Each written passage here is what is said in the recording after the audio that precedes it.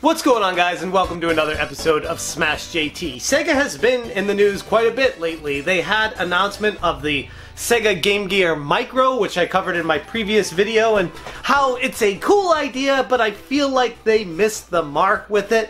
They could have made it a little bit bigger, incorporate more games, maybe raise the price a little bit, and just keep it like that. Keep it simple instead of going after the collectors, piecemealing it out, and making it an overcomplicated collectathon to get all these things together. That was the Game Gear Micro. Now the big announcement that was teased a couple weeks ago, people were saying this was going to be like the next big unveiling. People initially thought that Microsoft was going to either buy Sega or use the Sega name for the Series X when they go to sell that in Japan. That was dismissed not being a true situation. What the real thing is that Sega is doing, they're going to move into some arcades. They're going to make arcades data centers.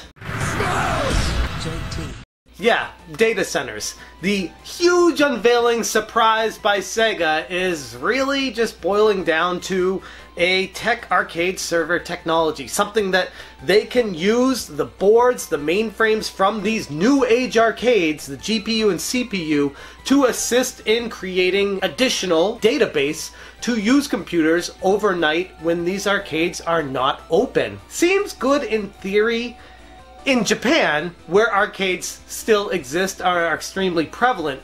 Outside of Japan, arcades kind of went the way of the dodo, and we're not really sure if this is going to be something that could even help anyone outside of the home country that Sega is based in, or Sammy, the parent corporation. So let's break down this announcement.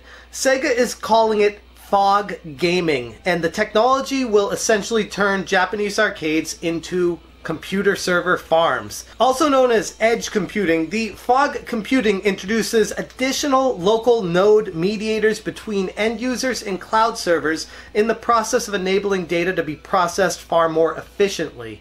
Now, the arcade scene, like I said, is big in Japan, so this is going to be a good thing for Japan it's not really something that's exciting for the rest of the world, and I think that's where the frustration comes in here. A lot of people were hyping this up based off of the technology journalist Zenji Nishikawa, who reportedly claimed this huge Sega scoop a few weeks ago that was going to be debuting in Famitsu and was going to be on the level of Wired's initial PS5 reveal article back in April 2019, which I covered, and you can see a video, I'll put a link of it above me if you want to watch that. This really isn't that though, and that's what frustrates me about it. This was super hyped up, super like, oh my god, this is gonna be game changing for the video game industry. And while it might be game changing for arcades in Japan, it doesn't really have an immediate reaction to the rest of the world. Like, maybe, potentially, if it does catch on in Japan and the data centers uh, are actually making the arcades enough money to sustain business and, and be even more profitable, then potentially it might bring arcades back to the West. And maybe that would be a reason to have them open again. And I am all for that. But that is a very long time from this moment right now, and a lot of things have to go right with the technology that needs to be perfected and put in place and proven before we can get hyped about arcades actually making their way back into play in the United States. But it is something going towards that. It is a move in the right direction for those of us that love going to the arcades. If arcade owners can make the money in the back end by having these used as servers when they close at night, make money overnight, and then open back up in the morning for people to come in and play the games, it's the perfect formula for success for a business to be making money basically 24 hours a day. But it's not going to be cheap. Here's the thing with the technology, the fog gaming that Sega is coming out with. It is not compatible with the current arcades that are out. They need to update and make these new mainframes, they have to actually support the software that Sega is making.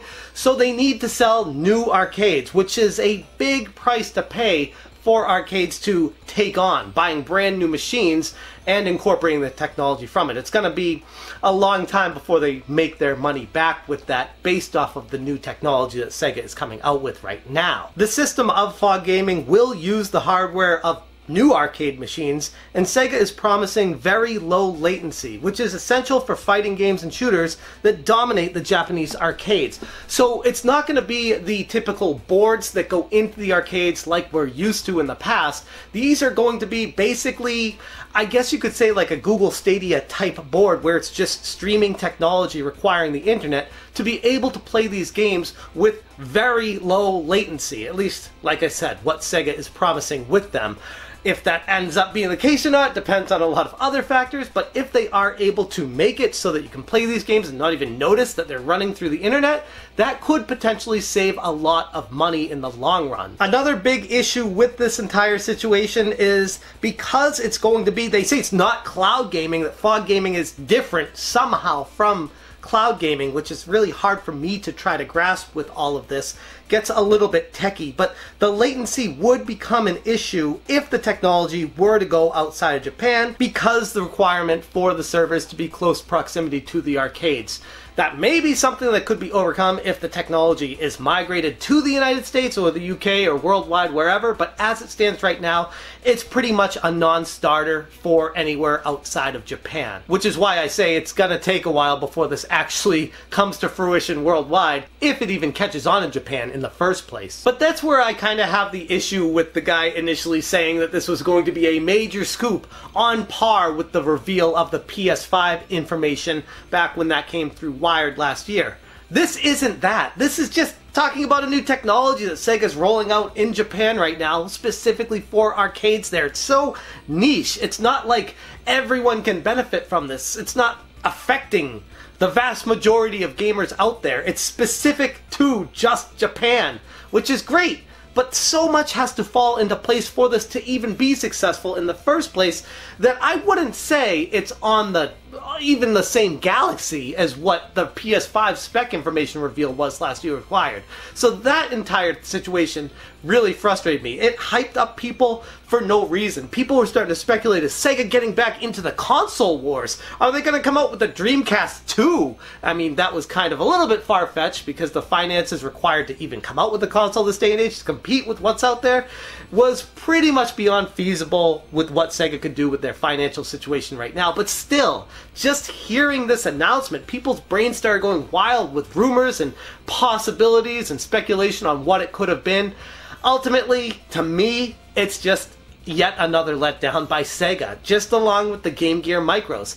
They're cool, and it's a neat concept, but the actual rolling out and how they're doing it leaves a lot to be desired. And it's it's not something that I personally can benefit from. And the vast majority of gamers really won't be able to relate to this. So yeah, it's it's a little bit frustrating to me that this got hyped up as big as it did, and ultimately it just came out to be a fog gaming technology for arcades specific to Japan that use servers overnight to be able to make money and, and keep the arcades rolling there. Not knocking it, it just doesn't really directly affect most people. So let's try to keep our expectations in check, journalists. Let's not try to hype people up for things that really, ultimately, at the end of the day, aren't that big of a deal when it comes to the video game industry right now. Now, ultimately, maybe this will grow into something wild and be hugely spectacularly successful. But right now, it's not that. So just the, the hype behind this announcement I think is what really got me frustrated about it. Uh, hell, I mean, the Game Gear Micro, the, the thing they announced like before this, where it was just like, oh, by the way, the Game Gear Micro, people thought that was the big announcement, and they were like, oh, that's that's cool, but it's not really that big of an announcement. It's just a Game Gear Micro. Cool. You you did it wrong though. You could have made it so much better. And then people say that's not the big announcement. Here's the big announcement: data centers and arcades. I mean, the Game Gear Micro is actually more exciting to me. Maybe that's just me, though.